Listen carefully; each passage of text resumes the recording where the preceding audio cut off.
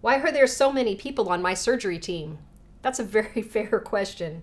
It seems like you tell your story 15 times when you come into the hospital.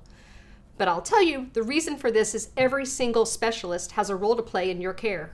Anesthesia may want to know about your airway. The surgeon wants to know what side are you doing and what are you having done?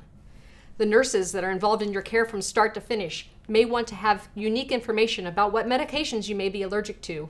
Your hospitalist at the end of your surgery may want to know what other medications you take and what you might need to help you be comfortable during your stay.